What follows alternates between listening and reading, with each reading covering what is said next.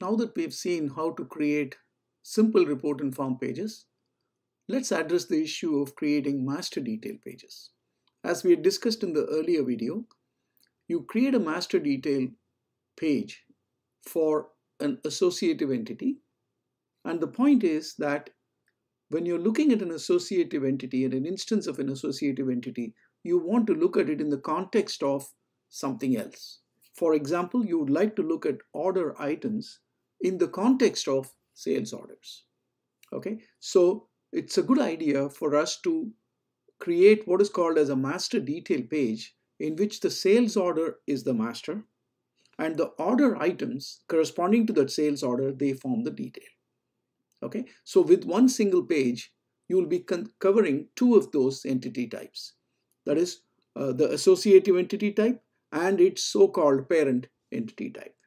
Of course, we understand that every associative entity is connected to two other entity types. For example, order item is, you know, it stands in between product and sales order. Okay, so you have a choice as to under which master is this order item going to appear as a detail. And as we discussed in the previous video, it makes most logical sense to view order items in the context of sales order rather than to view order item in the context of products. Okay, so therefore we'll create a master detail page in which the sales order is the master and the uh, order item is the detail. Okay, which is why I had earlier said don't create a separate report and form for sales order because it's going to come get covered in this master detail Uh, endeavor that we are going to now look at. Okay, so we are trying to create a master detail. At this point, if you've been following along, you might be on a page that is looking something like this. It doesn't matter if it's not looking like that. The point is, I'm just saying click on this application object here to go back to the application page. Okay, it doesn't matter how you get there, but we want to get to that application page. Okay, so once you get to the application page, okay, what you want to do is we'll want to then start creating the master detail page. Okay, this is the, the, the root page for this particular application. Okay, and uh, as I've already said, we'll create master detail forms in the context of associative entity types. We've already discussed that. So we click create page. Okay, and this is something we've already gone through, right? So we've got, uh, there's no point in seeing order items in isolation. We want to uh, see order items in the context of sales order because order items appear within sales order. Okay, so therefore sales order is going to be the master and order item will be the detail. Okay, so in general for any associative entity type, the associative entity type will be the detail page and one of the other two, whichever makes more sense, will be the master. Okay, so in this case, as we have already discussed in some detail, sales order is going to be the master, order item is going to be the detail. Okay, so to create a master detail page, we after you click create page, you're going to come to the screen, select master detail, and then click uh, not side by side. I want to click stacked. Okay, uh, stacked looks a little easier to create and also makes more sense to look at. So I'm going to choose this option of stacked Okay, so you'll have one page. The top of the page will have the sales order. The bottom of the page will list all the order items. That's exactly what this is trying to show. So once you click that, you're starting to create the master detail. It's saying, well, what is the name of this master detail page? Of course, this is a master detail for sales order and order item. So I'm going to say sales order. And let's say we want breadcrumbs and the master detail page entry name is sales order.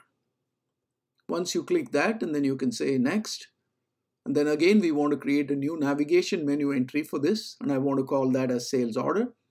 It's fine. And then it's going to come and ask you to select the table for sales order. Okay, so here you're going to, and of course, as we've already seen, uh, the workspace name is going to be populated for you, leave it alone. And here, when you click this uh, drop down, it may take a little while to load all the pages as I uh, all the tables as I had said before. If it's not loading for a long time, you'll see it says uh, load more items or show more items or something. Click on that and generally the things come up. Select sales order as the table. that's the master table. First, you're you're creating, you're selecting the master table. Okay, that's because you're talking of the master region, etc. Okay, and then of course you want to select the primary key column for that and sales order ID. Okay, this is one of the reasons why I said let's have uh, every entity type have its own primary key. So sales order has its own primary key. There is no second primary key column too, so leave that alone. Okay, and immediately the the uh, the fields or columns in the sales order table they show up. This is just uh, customer ID, of course, is the foreign key, but it's going to show up because it's in the table. And then we click next after filling up all of these and you come to the detail page, right? So we've already said the master table is sales order. Now we need to select the detail table. Once again, the, leave the workspace name alone. Pull down the table here, okay? And now it's going to show you only order item as the table, right? Because uh, that's the one that has a connection with sales order, okay? So that's why order item is going to show up. Select that and then select the primary key for order item as order item ID. Okay, so once again, the fact that we created a primary key for the associative entity without any key migrations is helping us.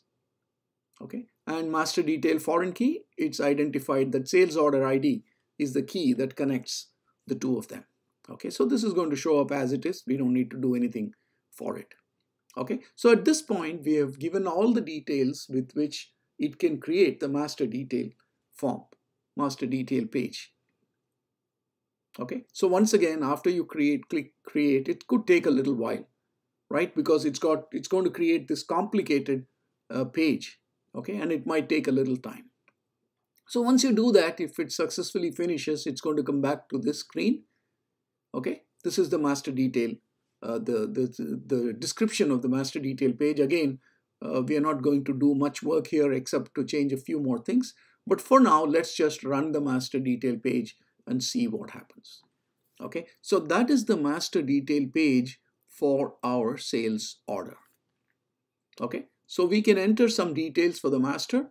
So for example, I clicked on this field and selected the date for the orders, for the sales order. And then we already have a customer whose ID is 1. So I entered that customer ID. Okay, and remember the master detail page has two parts. One is the master area on top for sales order and at the bottom there's the detail area for order items. I should say plural. Okay, so here I entered customer ID as 1. Okay, so let's uh, go ahead because we already created two customers the ID for the one customer was, uh, for the first customer was one, so I entered that ID. Now you have to be very careful here. Whatever ID you enter here must already exist in the customer table, right? Because a customer who doesn't exist cannot place an order. Okay, so therefore this number that you enter must be a valid ID in the customer table uh, and that's what the foreign key and referential integrity stuff we spoke about.